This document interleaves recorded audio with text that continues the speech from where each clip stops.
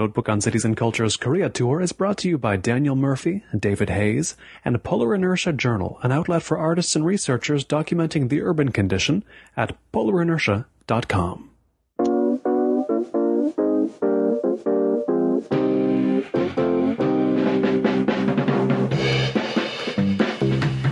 We're sitting here in Changwon, South Korea, and it's a city that, unless somebody's pretty familiar with Korea, they might not have heard of. But it's a cool town. Why is it cool? Uh, well, Changwon is the uh, environmental capital of South Korea, and it is a kind of flagship city for the environmental programs that uh, Korea wants to push forward for the 21st century. It's a planned city. Uh, it's made famous by its public bike share system, uh, Nubija, uh, which started in 2008, which for public bike share systems is, is rather old in the game at this point. Um, and the way that the public bike share system works is it's uh, funded and highly subsidized and owned by the city of Changwon. And it's really been designed as a form of public transportation that is a bike share system, and it, and it is used as such. Um, other things that make Changwon a great place is uh, other cities in Korea haven't necessarily prioritized the use of public space, green space, parks, uh, cycle lanes, uh, cy- cy- uh, separated cycle tracks, um, and Changwon has kind of prided itself in uh, leading forward and progressing with uh, these environmental issues and spaces.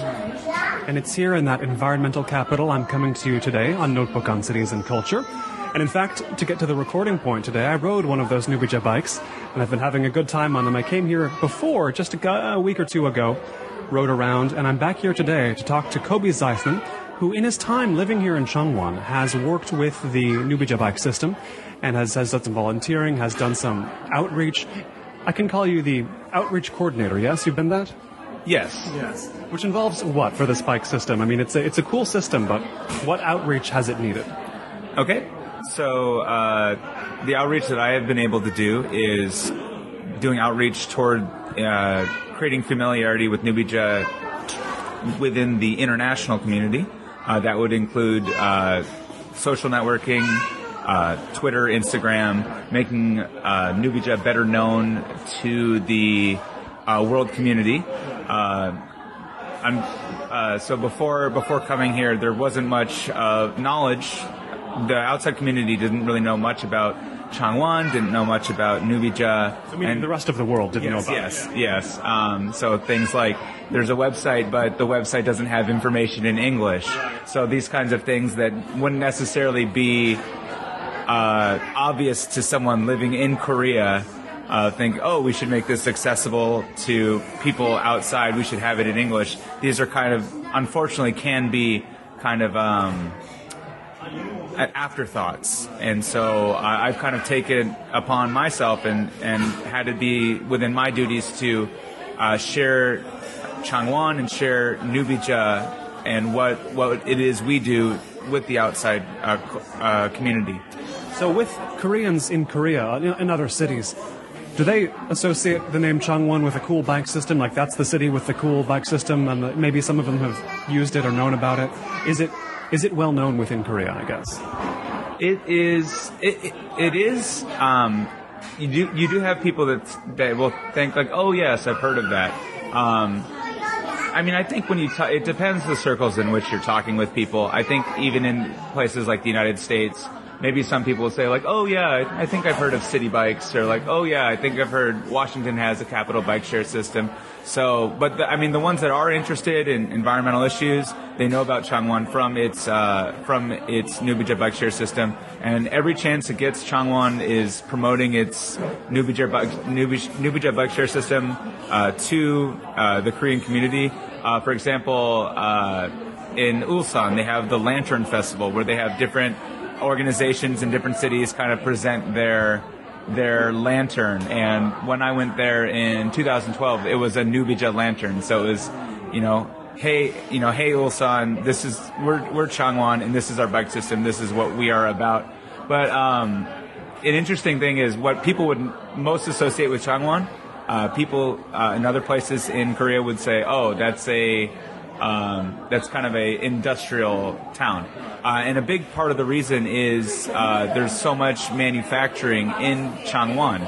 Uh, basically, if you have an LG cell phone, I'm holding an LG cell phone right now, it probably came from the factory floor here in Changwon. It's the town LG built, essentially. Yeah. Yes, yes, much like Suwon is uh, the town that, that Samsung built. Um, but there's many, many things and uh, factories in Changwon uh, you know, they make cell phones, they make electronics, they make cars, they make weapons. There's lots of uh, industry here, and it's because of that industry that Changwon has been able to uh, have such a successful economy. And it's also because of this industry that the mayor uh, Park Won-soo uh, decided, you know, we need to move forward and make Changwon a livable city, and we need these parks, and we need this bike share system. We need to offset the pollution and car traffic, and uh, it's kind of because of that. It's that Nubija and these uh, policies have emerged as 21st century solutions to a, this growing economy. There's there are signs and there are logos on the side of like garbage cans here that say Changwon, young city, and it really is. It opened in what 1980. Like the city opened, not the city's not that much older than us. Yeah, so the city is is a planned city. It was planned after the city of Canberra in Australia. It was designated by the uh, provincial government of this will be, uh, you know, this city will be centered around uh, manufacturing, and this is this will be a planned city. Um, so if you actually look at a map of Changwon, there's really just a, a distinct line, like everything south of the streets would we call Changwon Dero. Dero is uh, Day is big, Row is street, so Changwon Big Street, the big street. Very literal name sometimes. Yeah, yeah. and so everything south of Changwon-dero is just all manufacturing. It's, it's, like this is where the manufacturing is, and then uh, everything north of Changwon-dero is this is where resident, this is residential, and this is commercial space. Um, and yeah, it is it is a new city. Uh, it, it, opened, like you said, like I mentioned earlier, in 1980. But there are surrounding communities here that have a little more history. Some the communities like Masan and uh, have been around much longer and have a longer history. Actually, Masan is home, I think, to uh, South Korea's oldest operating fish market, or uh, something like that. Either either the oldest operating, oldest and still in operation, or something like that. But it has a long history, whereas whereas Changwon does not. Yes, yes. And actually, um, in 2010, the neighboring cities of Masan uh, and Jinhae became incorporated in Changwon. So Changwon was the newest, but it achieved so much uh, financial capital that it was able to incorporate Masan and Jinhae into its into its uh, city space. So now Masan and Jinhae are technically Changwon, and it increased Changwon's uh, population to 1.1 million, and also increased the tax revenue that it's able to pull in. And when they did that, then Nubija came to those places, right? As the city expanded, so did Nubija.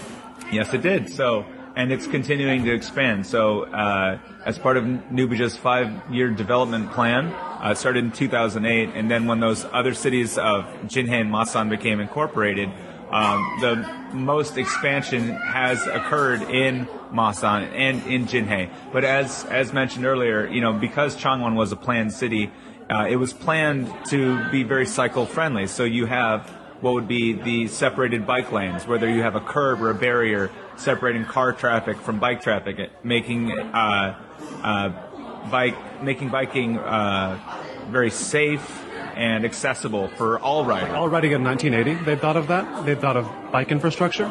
They, well, they had wider roads. They they anticipated for the wider roads, and then they modified it. Um, so they had more space to work with, easier space to work yes. with. Yes. Um, but so when Nubija has, has as Nubija moved in the communities of Jinhae and Masan, they haven't had that space to work with because they've already had the communities there. The narrower, winding streets and the sort of, you know, the older Korean urbanism. Yes, yes, and so you don't have those uh, cushy separated bike lanes. But what is good ab- about the sort of local government and how they've approached really this commitment to environmentalism in the communities is you do have projects expanding. So there's a rails to trails uh, uh, project in Masan in which they took an underused or unused railroad and they had they have it completely converted into a walking and cycle path. So, uh, you know, the government has been able to, what, what they can work with, they've been able to work with. How much did you know about Changwon before you came here? And you've been living here a fair few years. You're about to leave. So take take us back to the opposite moment before you were about to come. What did you know? I knew that I had two friends here, and more than a lot of Americans who come to Korea. So that's it. I knew I knew that I had two friends here. They said there was hiking, which I like, and that they had a public bike share system. And at this point, in when I came here, so I've been here two years. When I came here in 2000, 2012 in July, uh, I didn't really know anything about what a public bike share system was. I'd kind of heard of it. I thought, oh, that could be all right. I was already a cyclist though, and I was intent on buying a, uh, my own bicycle. Like, uh, That's neat, but I'll have my own, so right, whatever. Right. And then, uh, yeah, and then coming here, I, I, seem to have learned maybe a little bit more. yes, indeed. Now, when you got here, those first few weeks, months of living here, we talk about the livability of Changwon. Did, how livable did you find it immediately? Uh, I mean, it's it's an extremely livable and convenient place to be. Um, so, so, when I did get my, so I, I like I said, I, I, I bought a I bought a bike when I came here initially because I even even even just a few weeks without for me not having a bike, it was kind of cramping my style. Like oh, I know what you mean. Yeah, just it, I was used to a, a, kind of cycling lifestyle, and when I didn't have that, I was like, well, I need I need a bike. But the freedom of it, you get used to. Right, right, and then uh, so there's a process you have to wait to get your Nubija to become eligible for a Nubija, you need your alien card. You must, you have to have a cell phone to get a, a Nubija pass. It's not run, payments not run through a, uh, a credit card. It's through your cell phone. Uh, what it, what it does is when you register with your cell phone, um, if there's any uh, fees or the bike gets lost or damaged, your phone company will be billed, and then you uh, pay through your phone company. Um, Which is not a convenient system for foreigners. I mean, if I was just if I was just visiting Changwon and I didn't know you, I wouldn't be able to use Nubija. Yes. So you you must have a Korean cell phone, and you must have a cell phone registered within your name. So if you have, say, a lot of times people. Uh, foreigners will have uh, a hagwon or a school that the school bought them their cell phone, but if it's not registered in their name, they can't get the Nubija pass. But once you do get your Nubija pass, that's uh, awesome. Yeah, it's great. Yeah, so I got my pass. Uh, it was twenty thousand won, which is about at that time was about eighteen U.S. dollars. Um, and from there, it's it's a year's pass. You have you can check out the bike for two hours at a time. Um, and there are at that time there were 241 uh, stations all across Changwon, Masan area, Changwon, Masan, Jinhae area. So it's, it's very convenient. And when talking about livability, um, I mean, the reason that Changwon, I mean, the reason that Nubija was so appealing to get um, and to use because I, I, I, have a bike now, but I rarely use it uh, because I, I want to keep my bike in good condition and also because I don't really feel like I need to. It's not a hindrance to use the Nubija at all. Pretty much anything I would want to, any place I would want to go or anything I would want to do, I can take a Nubija there. So I'm going to the movies, if I need to go do some shopping at Emart, which is like the Target here, um, or if I, you know, if I need to go to the library, if I need to go to the bank, uh, really, if I need to go to work, any, pretty much any place that I would want or need to go, I can take Nubija. And the beauty of it is, is when I, when taking Nubija, it's, it's you ride a very short distance. So uh, Changwon, much like many uh, Asian cities, is rather compact. So you don't ever have to go very far. The longest I would ever ride to any place, I think, would be, I don't know, uh, five kilometers. But even then, I, I, probably wouldn't need to ride that much. Um, and but the beauty of it is, you check it out, you find a bike that you like, and then when you're finished, you just dock it in and walk away, and then you're done. Uh, you know, with with other with your own personal bike, uh, you can you know you have to worry. You know, oh, do I have to lock it up right? Will there be damage? Uh, will there be damages to it? Uh, I mean, theft isn't a big thing here, but that's you know it, it does happen. Um, and it also it allows for a very freeing lifestyle. So if I wanted to, uh, this is something that I'm going to miss a lot about Changwon is I like to do a lot of hiking. So I'll I'll take a in the mornings what I would do before work at two o'clock in the afternoon. I'd ride a bike to the, the trailhead at the top of the at the base of the mountain, park the Nubija, hike to the top, hike along the ridge, uh, and go down a different way, and have another Nubija there waiting for me, and just ride home, and then go to work. That's a good day. Uh, or other things like you know, uh, just kind of uh, the, the easiness and, and multimodalism. Uh, with Nubija, you have you, there, there's a there's a bus card and uh, bus payment system that can be attached to it. So I wanted to go to an NC Dinos. That's the Changwon baseball team. I wanted to go to NC Dinos game in Masan. So I use my bus card slash Nubija pass. Uh, get off in Masan, and then at the Masan station, then take a Nubija bike to the baseball stadium. Just, just super easy, super convenient. It is. There's lots of ways in which it's a more convenient system than some of the higher profile systems that I've used. Like London's, I liked for a variety of reasons. Uh, but I didn't like that, you know, there's not that many stations outside of central London, and you only get half an hour each time you take one out, or else they charge you two more pounds. So I'm always thinking, where's the next station? If you don't know exactly where it is, you're going to have a problem. But then again, I could use it there. You know, I'm a foreigner in, England, of course, and I just put my credit card in and can take it out. Unlike here, it's, but even with all that, it's still the Nubija is, is more convenient than say there are certain scattered systems in Seoul. Like there's one bike share station by the World Cup Stadium, and I was there at that one. I can read Korean. My girlfriend's a native Korean speaker, and even we couldn't figure out the instructions, and we couldn't have got it anyway because of that not having a Korean cell phone thing. Why do they Why do they do that in Korea? Why do they, Why do you need a Korean cell phone for so many things?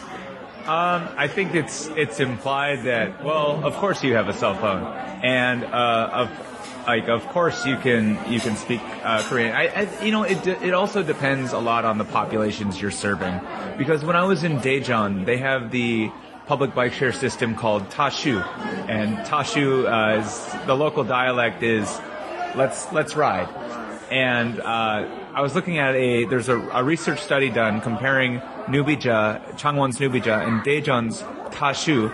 And Changwon's Nubija, as mentioned before, is, is a form of sustainable public transportation. This is public transportation, how people get to one place from another um, while riding a bike and, and no, no CO2 emissions or anything like that. Um, but with Daejeon's uh, Tashu system, this was a system, although popular, mostly used for recreation. Um, but the, the population in Daejeon is a much more. It's more of an international city in that you have uh, KAIST. KAIST, K-I-S-T, is I forget. I I could try to guess what it stands for, but basically it's Korea's MIT. So you have students from all over the world. T is probably technology. Let's let's make, let's make a help. K is probably Korea. Yeah, and then then fill in the blanks. Institute. The S is the S is really the problem. Yeah, yeah, yeah. Uh, so you have people from Europe and from the States and from Canada and all over the place who come to KAIST because of uh, its reputation and its uh, its uh, uh, prestige in, in, technology. And so Tashu, I found all their menus and it, their usability was all in English. Now Changwon at this point, um, it's not quite there yet as as much as Changwon wants to be an international city, and they're and they're working on it, and uh, they're they're they're trying, and they're putting their efforts uh, in in this way. Uh, there there are some steps that could be there are there's some room for progress, room for improvement. Um, there, I, I, we, we've had conversations before in Korea. There there tends to be uh, it can not always be as uh, easy to navigate for foreigners in some ways. Uh, like in the bigger cities like Busan and and Seoul, you know, subway maps and everything. There's a lot of uh, English usability, but there are, are, some things that are lacking, and one of which is if you don't have a Korean cell phone, it can be it can be difficult. And uh, kind of the blind assumption is like, well, of course you have a Korean cell phone. So um, if Korea wants to really have the gains it, it if Korea wants to achieve the gains and tourism that it wants, these are some things that, you know, are in the room for improvement category. Right. I get the sense, and maybe it's a sense you've got from conversations you've had with officials here as well, that Changwon doesn't quite realize that it has, say, in its bike share system in Nubija, a system that would be the envy of a lot of cities around the world. Like they they know they like it, but they don't maybe they don't understand that it's also something the world is really interested in.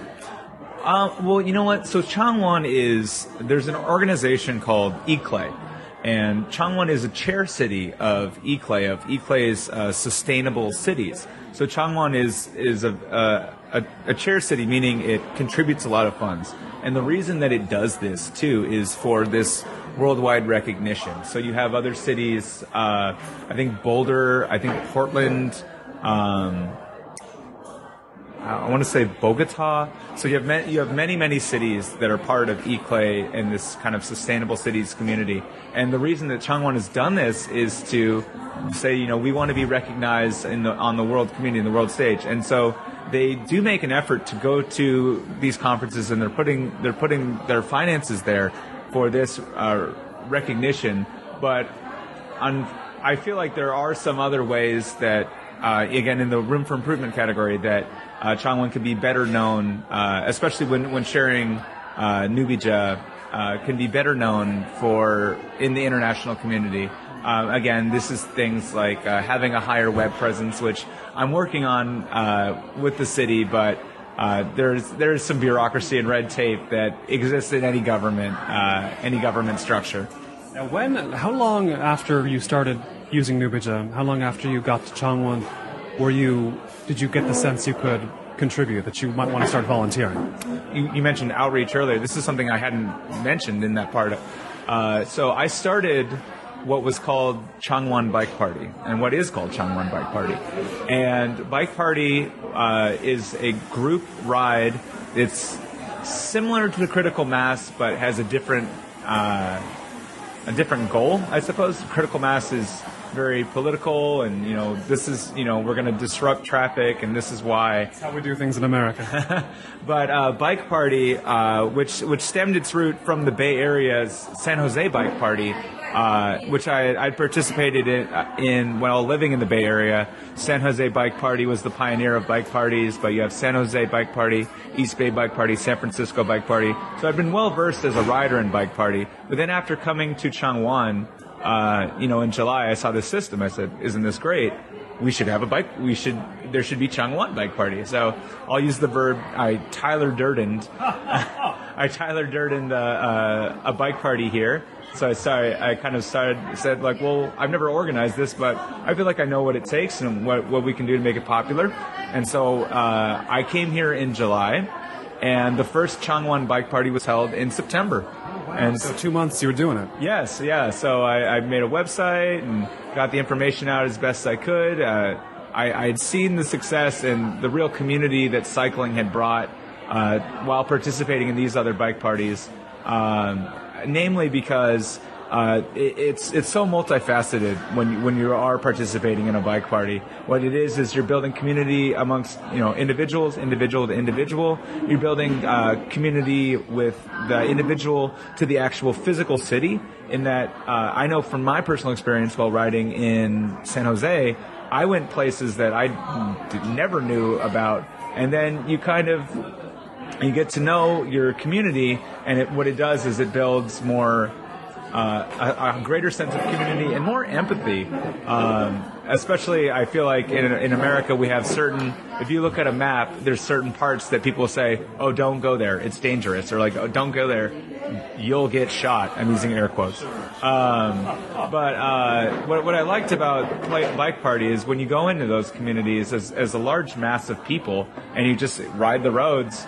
Um, it's you you get to see these communities and you get to see these communities for what they are and it's it, oftentimes it's families immigrant families you have people coming up the lawn waving seeing what, what's going on and what you're doing is you're kind of you're participating in a in a conversation in your community and it, and it creates equity because it changes your opinion opinion of places.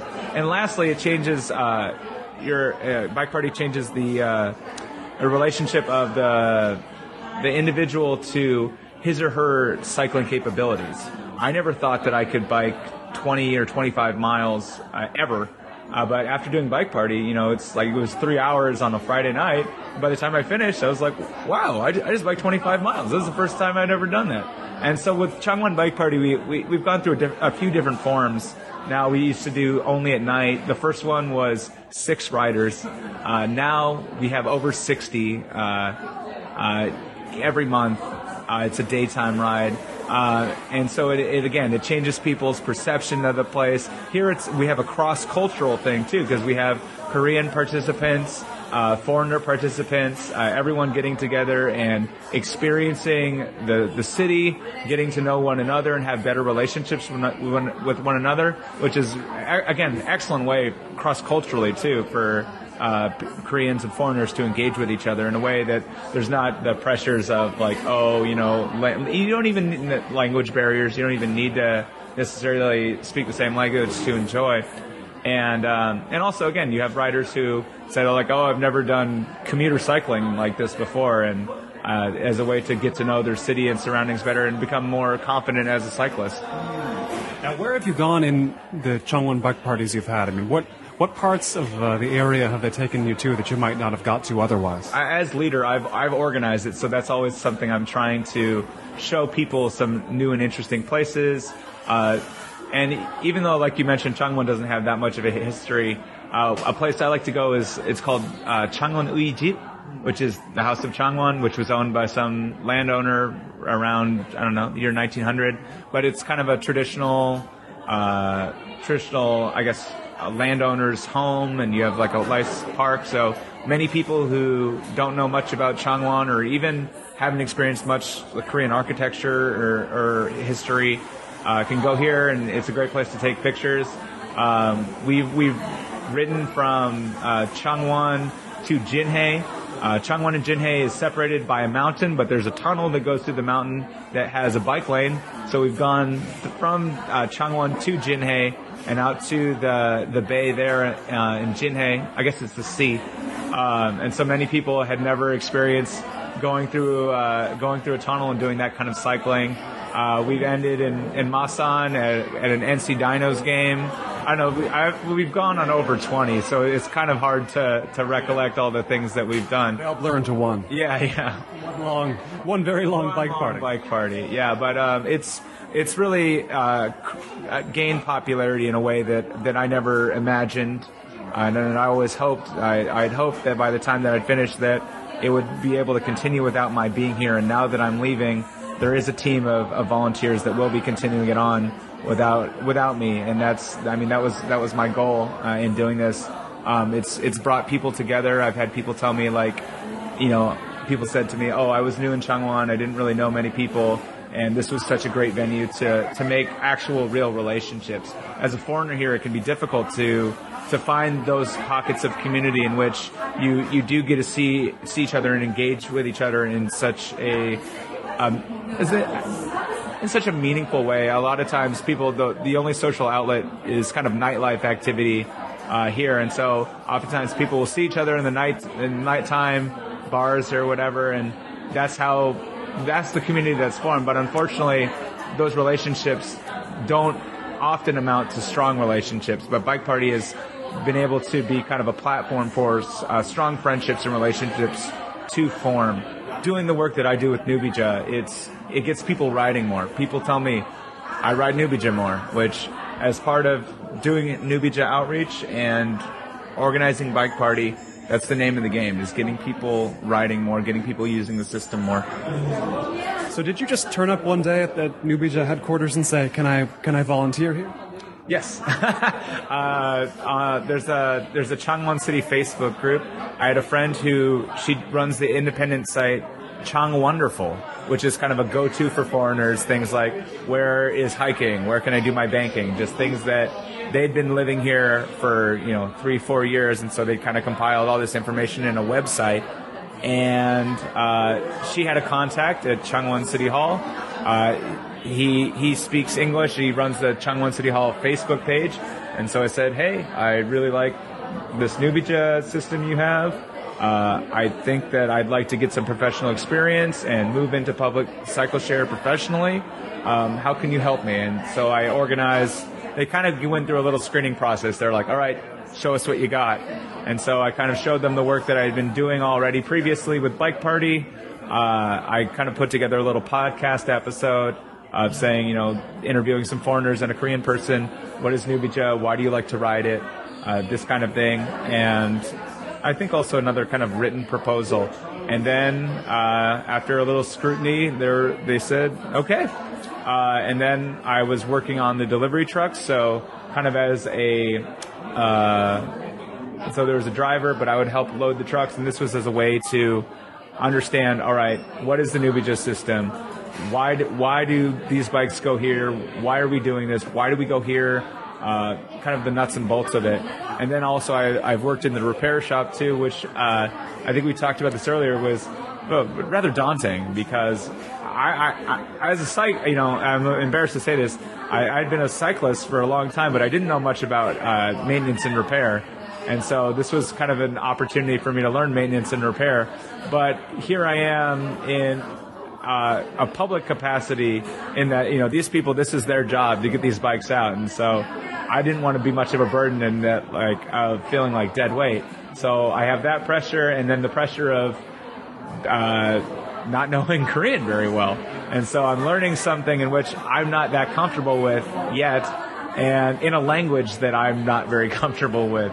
But I, I did have enough Korean to, to learn, but thankfully, uh, my repair my repair instructor was just extremely patient with me, and we, we still continue to ha- uh, have a good relationship. And in that kind of situation, you learn both of those things fast, the language and the repair, because you have to learn them fast. It really forces you to pick it all up quickly, right? Sink or swim. yes, exactly. You have swum and it's what have you? What have been some interesting things you you learned that you didn't realize at first about the system, the way it works? I mean, one fascinating thing for me was to see when we went up to the bike graveyard at the top of the maintenance facility with these hundreds and hundreds of messed up bikes that are getting parted out for other bikes, and it's like you see a bike kind of curved from being maybe kicked by a drunken high schooler, who knows? What what's been what have been some surprising I don't know about revelations, but things you've learned from Nubija?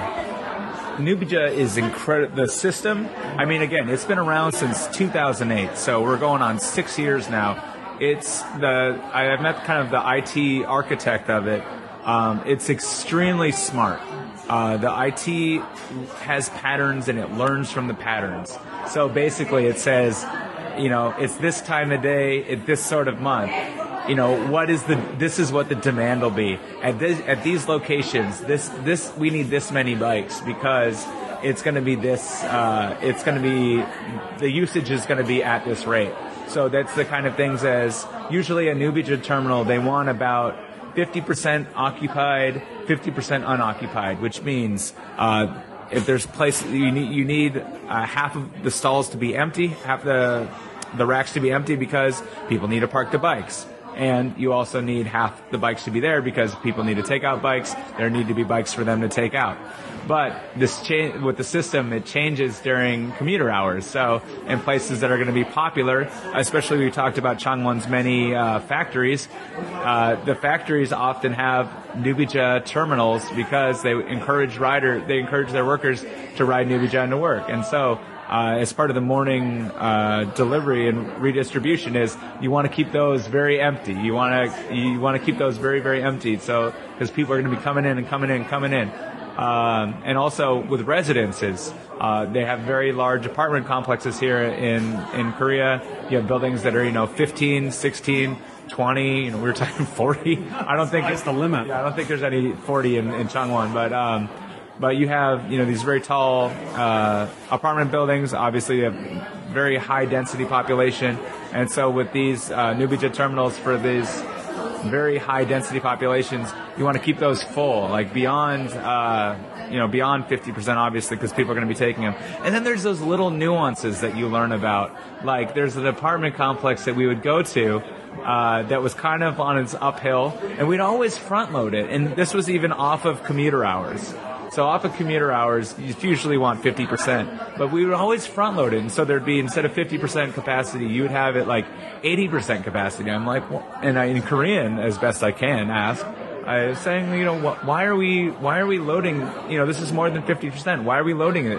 And he said to me, well, we're uphill, Yeah. so people are gonna take them downhill, and you're not gonna get that even evening out of uh, of the system naturally working itself out because a lot of times that's how it works out is popular places especially during non-commuter hours about as many people are taking in as they are taking out but with a place that's uphill you don't have that other nuanced thing i learned from the architecture the sort of architect uh, it uh, writer, uh, he told me about the reg. There's a, a system. Uh, there's something that's written that uh, if a bike is taken out three times, with each time being under 30 seconds. So a bike is taken out and then put back in within 30 seconds. If this happens three times, the bike is automatically flagged for uh, possible uh, damage of some kind. Maybe it's a flat tire. Maybe there's something wrong uh, with with the bike, um, and that being the beha- human behavior of they take out the bike. Oh, uh, you know, it has this problem. It has this problem. I'm just going to dock it back in and take out another bike. So it's not you know, that's not 100% of the time, but it's a high likelihood that that bike has something wrong with it. And there's something written in, in the code that, you know, we, we have this, we, they've thought about it. So I, I'm hoping, I, I, I would love, I would love for them to think, okay, it's raining on a Monday. This is, this is our system's needs. Like, They can always get a little bit more information incorporated in. They can always make it smarter. No, I, I think of, well, we both grew up around Seattle, Washington in the 90s and 2000s, and Seattle itself has this reputation for being progressive, technological, forward thinking in a lot of in a lot of ways, and it even has a reputation as a big cycling city. I wonder, do you think do you think the reputation is deserved at the moment in its current state of development? I, I go back and forth on that. yeah, you mean Seattle? Seattle. Well, yeah, yeah. Uh, yeah, I think I think now Seattle's doing a great job in terms of poising itself uh, for being a 21st century, a 21st century city. Um, in the past, it hasn't sort of made those gains that it's wanted to. Like, you know, I think probably since we were kids, you know, we were talking. You know, there's always been this like, when is when is public transportation going to come and it's always something that local governments had dragged their feet on. But now they have one train line only. Right, right. But I mean, there. I just talked to my friend in Seattle via Skype the other day, and uh, they they're really like from Capitol Hill to uh, the U District. There's I, I don't know which hill they've gone through. They've just really just dug through, and they've done maybe dug like 200 feet down. So they're really kind of, I guess, making up for lost time. There's a, a Pronto bike share system run by Alta that's coming through and sponsored by Alaska Airlines. That's coming through in fall of this year. Um, the the Sounder, the Airport Express. Again, it, it took a while, but it's, it's kind of getting there. Uh, Seattle's uh, progressively leading the charge uh, for all sorts of uh, social. Uh, Seattle and, and Washington State are lead, leading the charge for all sorts of uh, social progressivism. Uh, things like you know, gay marriage got recently approved by the the by the state last year, uh, pushing for a the SeaTac pushed for the fifteen dollar an hour minimum wage, and I think Seattle is also the Seattle City Council is going to be going for the fifteen dollar city minimum wage. Um, the Seattle Public Library, you can check out books from the library onto your Kindle. Yeah.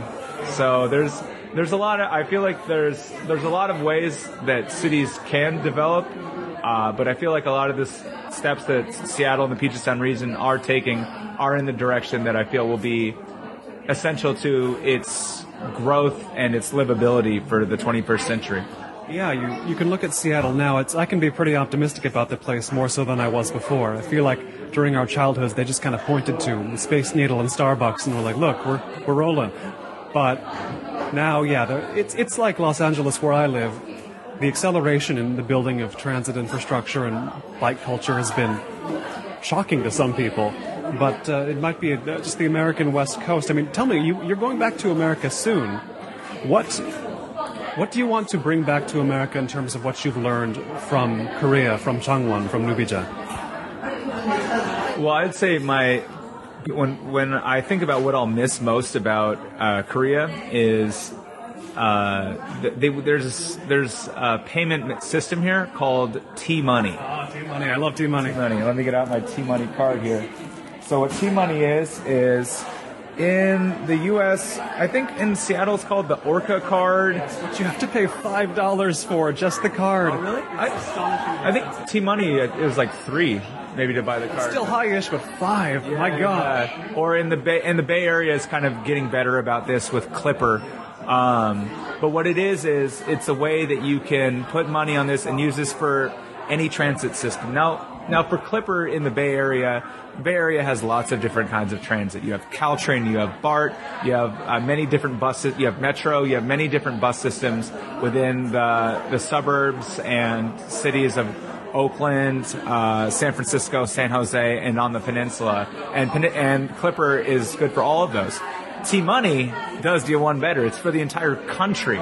So you can be on a subway, you can be on a bus system, you can be on the Airport Express to, to Incheon Airport in Seoul. In a taxi, you can use it. Taxi. Which is, I mean, Americans, listen again. In a taxi, you can use your subway card, which works in Busan, in Seoul, wherever else. The entire country. This is a country of 55 million people. And if you have T Money, you can be anywhere in the country and use this for, again, you can use this uh, taxi, buses, uh, uh, subway systems for the entire country. It's it's incredibly amazing. You can even use it in, uh, and depending on like what kind of store you're in too, you could use it to buy like cup of coffee. Um, so it's it's incredible, and you just go to many any of the many convenience stores here and just say you pay in cash, like oh I want five dollars on my T Money card, and then and then you're good to go. What I've told what I've been told is in the states that there's so many uh, contracts and competing contracts that that's probably that that would stifle the progress of a system like this. There's always there's always that element, and there's other things that seem like endemic to America as well. For example, uh, in that bike graveyard at the top of the maintenance facility, we were joking with the mechanic there about how and he was saying what a shame it was that high schoolers would get drunk and kick the bikes. We were saying, yeah, in, in America it'd be even worse. Like it's our instinct to think that stuff just gets screwed up more in America by people. You know, it's the first thing. In Japan, it was always about the vending machines. Like there's so many vending machines here, even more than here, with good stuff in them everywhere, even even alcohol. And it's like, yeah. And whenever I got together with another American, it'd be like, yeah, those things. If those were in New York or Los Angeles, like we just assume they would get demolished by people. What? Why do we assume people will be so irresponsible?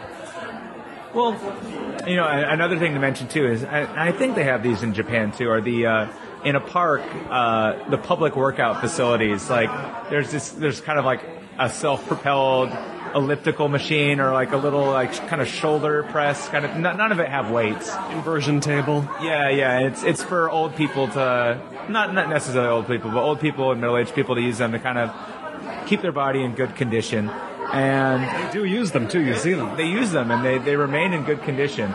Um in so there there is this idea that and you could agree with it or disagree with it, but it's worth mentioning. I guess it's worth talking about it. Uh, in Mia book, in Mia Birk's book, Mia Birk is uh, the president and founder of Alta Bike Share, and uh, former guest on this show from a couple years ago when I was in Portland. Wow, you got Mia Birk. Um, yeah, so Mia Birk in her in her book uh, Free Ride, uh, she mentions this theory like if you shine a light, like the cockroaches scatter, and so uh, in her work with uh, Alta, they don't only do bike share, but they do also bike trail planning that like people will say like oh you know if we have a bike trail that means all the criminals will come and and you know it's about criminals in America. So um, you know if, if, you have a bike share it'll be like vagrants and and vagabonds uh, insane. Whomever. Yeah, this yeah, massive this massive crazies and makers and uh, you know they'll be the ones using these bike routes bike trails for whatever. Um, but I think you know uh, she was talking. It's like you know, make them nice. You know, if you make it nice and you allow people to uh, kind of take ownership and you know make it something that people are proud of. It also kind of goes back to um, in New York City, while uh, Rudy Giuliani was. Um, was new was the new mayor of New York City. There was what was called the, the broken window, the broke broken window policy, broken window theory, broken, broken window theory, yeah, where like how a broken window can affect the entire neighborhood. Because uh, when people see a, if a broken window is quickly repaired, then it's uh, it's seen as like okay, this is a place worth taking care of. But what happens is when there's one broken window, it can later turn into two broken windows, then a broken door, and then it's really and then it's an epidemic. Mal- Malcolm Gladwell talks about this. Uh, it takes it people because it the context has changed the, this is a building no longer worth caring for, and then the building no longer worth caring for becomes the street no longer worth taking care of, and then you have the neighborhood no longer worth taking care of, and so it's the little things. Actually, the country no longer worth yeah. taking care of. right. So it's the little things that uh, if you can if you can address them and uh, you know make make them worth taking care of and sending a message like uh, also Malcolm Gladwell talked about this was in Tipping Point uh, the reason that they were able to clean up the subways and make them because they were really dangerous. I think in the 80s, 70s, 80s. You see those movies, like, and the they didn't do that for the movie. The whole interior of the subway car is just graffiti. Yeah, yeah. And so what they did was this was so. Uh, this is what Malcolm Gladwell talked about in Tipping Point. Is what they did was uh, to make the subway riding experience better for New Yorkers and for for tourists was because there was graffiti. This kind of goes back to the the broken window theory that all right, this isn't worth taking care of. And so uh, what they did was, you know, these train these subway cars would be waiting there, and some of these graffiti artists would be two, three days, spent all this time. Oh, someone's gonna, everyone's gonna see this. They're gonna know how great I am. They waited until it was all finished, and then they just boom, wiped it away, washed it away, and just send the message that you're going to work hard on this, and no one is going to see it. And so, and so that was part of the way that they tried to clean up the image of the subway. This is something worth caring about. Also, fare beating, people hopping, hopping the turnstiles was a problem. Uh, they cracked down. You know, there was violent crime going on in the subway. Why, why crack down on fare beating? But again, it changes the culture. This is something that you know, we will crack down on this. This is something worth valuing. In Korea, though, it doesn't seem like people are less vandalistic because the country is run by hardasses. You know what I mean? Like maybe it is. I don't know. But is that is it because they're so strict here, or is it is it more than that? I mean, it, it's cultural. I think also in uh, in Japan, it's it's also there is something inherent that we should respect. Uh, public place, or we should respect other people. Uh, this is not not not always the case, but um, uh, this is this is something that's a little more inherent in the cultural experience here than rather in the United States. For example, I can't tell you how many times I've been shushed on public transportation because my loud voice has been causing a disturbance to the other people, and this kind of took took some adjusting for me, and especially when talking with Korean people, I'm like, why did that guy shush me? It's like, well, you know, we should be quiet because we we we could be disrupting others. And this idea that we should be blah blah blah because we could be blah blah blah, that doesn't really exist as much in America. There's that we have in Korea. There's what's it's based on Confucianism, in which there's a hierarchy. Basically, uh, old, old we should listen to older people we should listen to people older than us, even if it isn't the isn't the best way, or if it isn't the way that makes the most sense or is the most convenient. Um, there's because there's this hierarchy that like we need to, um, you know, they are our seniors and we should listen to them, and that's that's that a lot of so I think with public property and uh, and being uh, conscientious of people, a lot of it kind of stems from that. This is something that Malcolm Gladwell also wrote about, isn't it? How the sort of other side of that, where a while ago you would also get co-pilots who didn't want to tell the more senior pilot the plane was about to go down. So I guess there's a new balance to strike in the 21st century now. Yes, yes. Um, you know, there, especially going back, it's it's it's interesting when talking with the. Uh, with the city officials about, uh, you know, I mentioned like, oh, you know, uh, why don't we do this or why don't we do that? There's always a certain approach you have to take, and that shows the respect of age. And there's a way to do it. Oh yes, um, and I'm I'm learning that, and hopefully I can get better at it. But uh, I was talking with a colleague in the city hall, and I said, "Oh, I want to do this.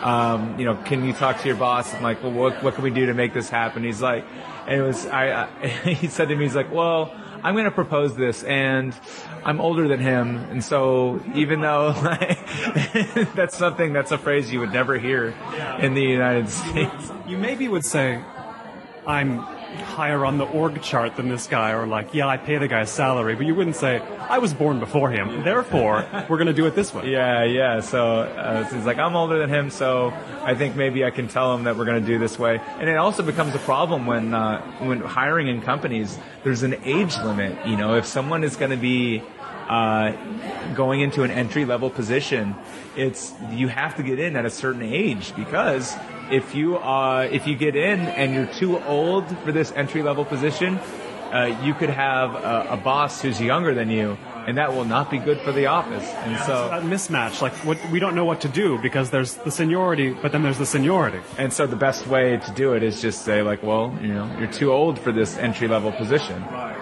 Yeah, in America we don't think about relative age. I mean, a boss that's younger than you is not uncommon, and you know, what what are some of the things you think are going to reverse culture shock you? Have you been sufficiently Koreanized to the processes here that you'll be you'll have to you'll have to rethink things when you get back to the states? Uh, I guess that's we'll have to see. Um, I, I could see that. I, I could see the, the ageism thing has kind of been ingrained in me at this point, where I would think like, oh, you know, you should be kinder to me because I'm older. Maybe, hopefully it's not that stark. Hopefully I won't have too many gains to be uh, acclimatized to go back to the states. Um, I think actually just the the convenience of, of travel and the convenience of of getting around. Like I mentioned, you know, this is a really compact city and everything is the distances are, are very close. And if I want to go to another city, you can just hop on an inner city bus at a very low price. Lots of freedom, lots of lots of mobility, and I think. Uh, I'm gonna try to not. I'm gonna try to abstain from owning a car as best I can in the United States. It's possible. It's possible. I, it, depending on where you are, especially like if you're already in an urban setting, uh, it's it's certainly doable. Um, but I, I, hope it doesn't cause. I, I, hope I can have the freedom and happiness that I have here uh, without an automobile. Yes, it works a lot better in the center of Seattle, say, than even the closest suburbs. Like it's you go a little distance and the convenience drops so far off in American cities. Has that been your experience? Oh yeah, yeah. Um, it's getting better. It's getting better. Like uh, when uh, I was visiting before I came to Korea, I was staying with my parents in Shoreline, which is about 20 miles north of Seattle. Uh, luckily, with the Sounder, the public transportation that Seattle has, it's really skeletal right now. But the Sounder goes has a station stop in Edmonds. Uh, so I was able. It only runs during commuter hours, but uh, I was able to in the morning ride from Shoreline through Woodway to the Edmond station, put my bike on the Sounder uh, bike rack, and then go into Seattle Station. And then later, just for, for fun, I was going to Portland. So I was able to get from my doorstep in in Shoreline to Portland without ever needing an automobile. Nice, which it's one of those things you don't expect in America, but it's sometimes it is possible and getting more possible all the time. By the way, listeners, in, in Edmonds, very good Korean restaurant, Hosunyi, uh, which where which is where I got my intro to Korean food, but I've got much more education here in Korea itself about the uh, the eating to be done in, in Korean cuisine. But that's neither here nor there because it's it's it's interesting in America the way things are developing. You, you mentioned taking your bike onto a train, like I do that kind of thing a lot. We have to combine methods. There's no, there's no one way that works really well, but if you if you figured out the sort of combination combinations and permutations of transportation, it, you can make you can make things work right now in the states. Well, it it it depends on the population. Uh, Gil Penalosa, who, who's done a TED talk on, he runs the organization called Eight to Eighty Cities and that's uh, this idea that cities should be livable spaces for people ages 8 to 80. And oftentimes, if you're kind of a young, able bodied, and oftentimes, depending on the city, male, uh, your options are a lot different than uh, if otherwise. And so, for young, healthy men like us, uh, absolutely like multimodalism combining cycling and public transportation is is absolutely like the way to go and an easy convenient way to go. But depending on where you go even simple things like things that for that I would take for granted of okay I'm going to go down in the subway I'm just going to put my bike over my shoulder and walk down the stairs. I'm just going to do it. Yeah yeah but with other other people depending on like if you have a six-year-old woman who needs to take her bike over her shoulder and walk down the stairs, uh, it's not always as convenient. So we, we do have some we do we do have some strides to make what you know those eight to eighty cities. Um, but I, I mean, Seattle in the West Coast and also places on the East Coast and, and in the middle, it's, it's starting to catch along. But um, it's main the, the charge is being led by cities and city governments, um, and you know, you know, as I explained, taking the sounder from Edmonds. Uh, you know, there's not always these kinds of options. I have a friend in Georgia. Uh, I have a friend from Georgia who, who I live with here, who lives here in Changwon. He was saying like, there's just no way, no way to do anything without without owning a car. Or if you're out in the suburbs in Dallas or something, you know, they're, they're working on it, but uh, it, it it doesn't have the same connectivity here. I mean, what I love here is I've done a lot of uh, cycling out in the countryside and you'll see bus stops just on country roads. I, I, mean, maybe they have that in the states. I'm not, but not nearly as common, I'd imagine. Yeah, and you're waiting a long time for those buses in the states. You know, the frequency goes down so far when you leave the core of a city. Right.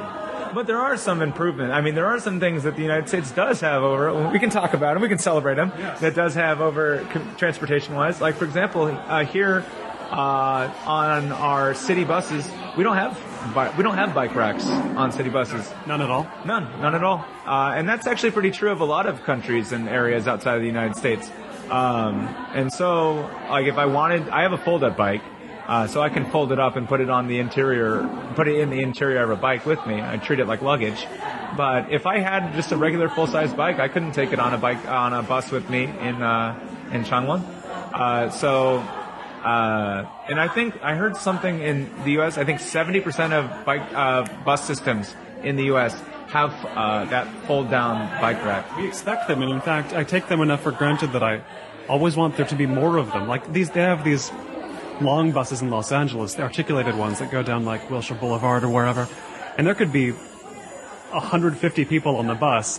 Still, there's two bike spots, so you have to wait for like. So I waited for six to pass, and maybe got was space, you know, so that can be difficult, but they're there. Yeah.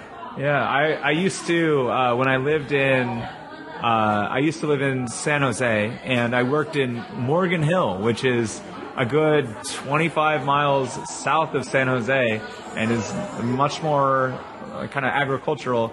My commute was I would ride my bike to downtown San Jose, take the light rail to some southern part of San Jose. From the light rail station, take my bike with, on the bus, uh, and then take the bus down to Morgan Hill and then ride. Uh, and so I sometimes I'd be down in Morgan Hill with my bike, and the bus would already have two bikes on it. But I thankfully have had a hand, I've had like patient bus drivers to say, okay, just wheel it on in the back, and so I've been grateful for that.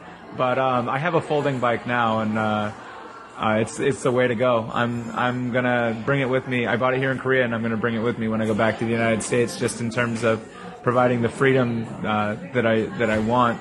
Uh, I'm very happy with it, very satisfied. Now, I haven't rode a folding bike here myself yet, but I've tried a variety. I've tried, as I say, the, as you know, the Nubija bikes here in Changwon. I've tried. They have there's free mountain bikes you can use by the Jamsil station in Seoul. Tried those uh, tried a sort of shoddy rental bike along the uh, Hangang bike path, one of these barely maintained things. Uh, it was still fun. I've tried electric bikes that go quite fast in, in Busan. I've tried to get as much of an image of the overall cycle culture here in Korea as I as I can. But what has been your take on it? How how cyclable a country is this right now? Um, Korea is a great cycling country. Um, in most cities, I mean, Changwon Changwon gets an A plus uh, because of its uh, separated bike lanes. You have the concrete barrier again, which really uh, increases the number of riders because of their feelings of safety. They're not kind of neck and neck with cars. Um, but cycling is is popular and it's uh, growing more and more popular. Uh, on the sidewalks, most sidewalks you'll see kind of a green section and an orange and a red section, kind of a brick colored. And the brick colored, often there's like a, a, bicycle emblem on there. It's like, all right, the sidewalk is for biking, which we don't do as much in the United States because there are bike lanes. But the fact that they're acknowledging uh, its presence is is a good thing. Um, I I have also in my time here, there's a cycling program called the Four Rivers Trail. And the Four Rivers, which would be the Han, the Han River as mentioned, uh, the Han River, the Nakdong River, which runs from Busan to Andong, the Yeongsan River, and the Geum River. Uh, this, these are called the Four Rivers, and they have along these four rivers is kind of an ec- ecological project. They have dams along the way, and they have at these dams they have sort of these red, uh, old English style phone booths. Inside they have a stamp, uh, like a stamp pad. So you buy your little stamp booklet, and then you get your stamps along the way. And after you complete the entire uh, Four Rivers tour, which in totality is about 800 something kilometers, uh, you get you, you get a little medal uh, as a, your accomplishment. Yeah. It's, it's something you've it's something you've got recently, so it's it's probably the best souvenir of Korea you can have as a as a cyclist here, right? Yeah, so the program actually there's two there's two medals you can get. There's what's called the cross country ride, which goes from Busan at the southern tip of the country up to Seoul, up to the, the northern part of the country. As far as you can go, essentially. Yeah, yeah, and that and that filters out to Incheon, and that ride is I think 700 673. I want to guess uh, kilometers. So that's the cross country medal, and then there's the the Four Rivers medal, uh, which I had mentioned the the Four Rivers that which I had previously mentioned, and so I had received my Four Rivers medal. Um, first, and then just recently I got my cross country medal by that, which was actually once you have the four rivers, you get the cross country one. It's not not as hard because there's just a hundred kilometer bike path that connects the the Han River, which is the northern one, and the Nakdong River, which is the southern one. There's just kind of a hundred kilometer bridge in between this uh, cycle path. And once I completed that, I was eligible to get my cross country medal. So I have my, my two medals and my stamp passport and hopefully a lot of knowledge and resources I can share when I go back to the United States. When you get back, finally, what's the what's the ride in the states you're most looking forward to doing? Oh, geez, I haven't thought about that. Um, I, I, we had talked earlier. Uh, I haven't done much. I, so, I mean, I, growing up in Seattle, I've been to Canada and uh, British Columbia and Vancouver uh, several times. I think five or six, but uh, I haven't been there since in about ten years. So I'd like to go to, to Canada and see Canada by bike. Like uh, I'd mentioned earlier, taking the bike to Portland. Uh, that was just fun to be in uh, a new city and cycling around, seeing the city by cycle. So I don't see why uh, I, I should continue continue doing what I love and go to Vancouver and see the city by bike. Your first your first big American ride could be Canadian. I like it. I like Get it. another stamp on my passport.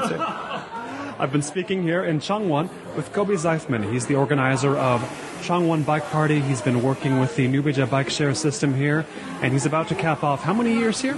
Two years. Two years, around two years, and back home to the States. Coby, thanks so much. Thank you very much for having me. This has been Notebook on Cities and Culture. I've been Colin Marshall. You can keep up with the cultural creators, internationalists, and observers of the urban scene on the show at colinmarshall.org. Thanks. And special thanks to all the backers of Notebook on Cities and Culture's Korea tour on Kickstarter.